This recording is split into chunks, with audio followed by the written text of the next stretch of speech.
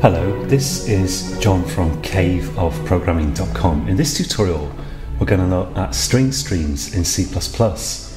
I, I wanted to show you um, constructor parameters in this tutorial, but I realized uh, that we really could do with um, looking at string streams first. Um, string streams let you concatenate uh, disparate types of data, like, um, for example, a double and a, and a, and a string into a single string.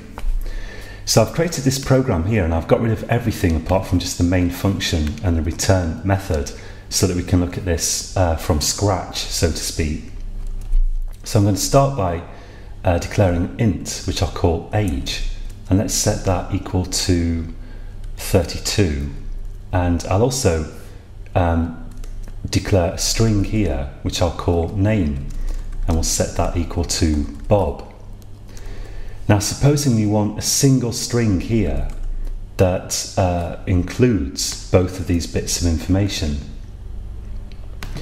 Well, we could output them both using the cout statement, but that's only good if we want to output these immediately. We could output these with a single cout statement and some put to operators. We've seen that before. But what if we want to build up a string containing both of these bits of information so that we can use it elsewhere in the program? Well, the first thing here is that um, I need to include uh, iostream so that I can use string. So let's go ahead and do that, include iostream. And it might be iostream.h on your system. You might need string.h or something different. Um, but uh, if, if you do, you'll find out at this point. And of course, you'll need to Google for that information for your compiler. And we also need to say using names name space standard, just so std, just so that we can use the string. Now, what we'd like to do is something like this: string info equals um, age. Let's say name colon plus name plus and some punctuation and let's say age colon plus age. And of course we could output that with cout if it worked. We could say cout info info endler. Now that doesn't work. We, we don't see any errors here in Eclipse at least not for the GNU compiler that, that I'm using but let's try to build it. And what we find is we get a load of um, errors here. And if we just go to the top, we see that it's telling me the, the problem is this plus sign here. It's the plus sign, this one here. And the reason for that is that um, plus is not defined for a string, which this lot is, and an age, and a, a sorry, and an int, which this is. So we could add two ints together, that's no problem. We can con concatenate two strings with a plus sign, that's no problem but we can't concatenate an int with a string. And to get around that, we can use um, uh, a class called string stream. The first thing we need to do is include at the top here, and we need to include uh, string, st I think it's called SS S stream, SS stream. So um, this, I'm pretty sure it is called different things on different compilers. Maybe not, but uh, it's worth just putting the include in, commenting out anything else that gives you an error for the moment, and just checking that you can compile the project, make sure it's saved, and compile it just with that include S stream. Um, we've also got some error here. Oh, it's just a warning. Yeah, so it, it actually the build has actually been successful and we can run it. We've just got a warning uh, because we're not using these variables, I suppose.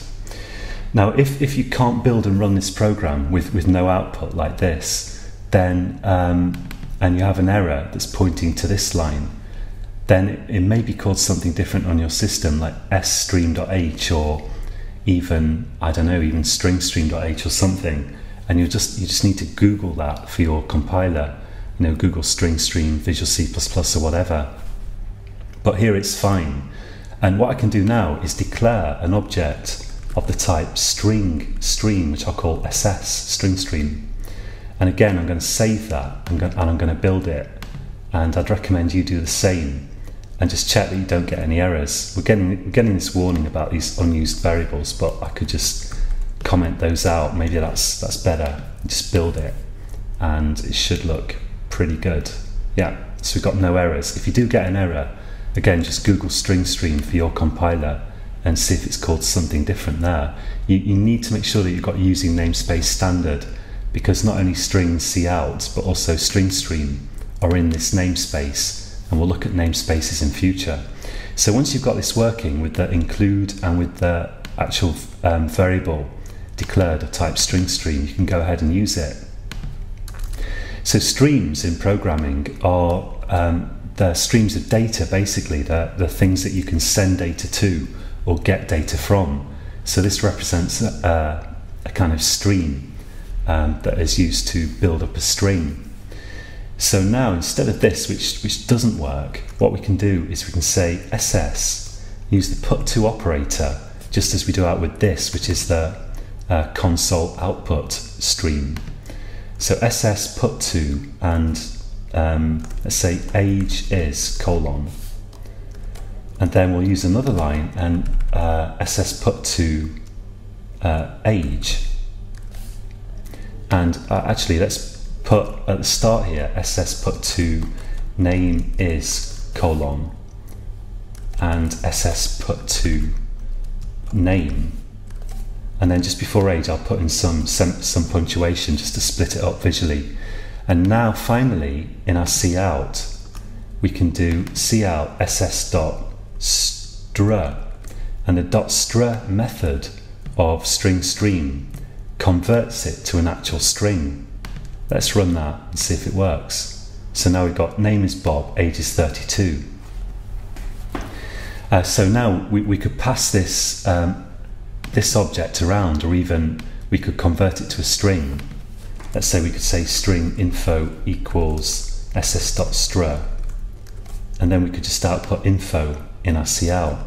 So that the object of all of this here was just to get this information in a single string info and we can then do what we like with it. In this case, we, are just going to output it down here. So to practice this, and it's important to practice, um, just again, declare some variables. You can use doubles, int, strings, whatever comes to mind, really. Try it with anything that you feel like trying it with. And then use a string stream to um, turn it all into a single string and then output it. And we'll use that later. And if anything doesn't work, don't hesitate to Google for how to do this for your particular compiler.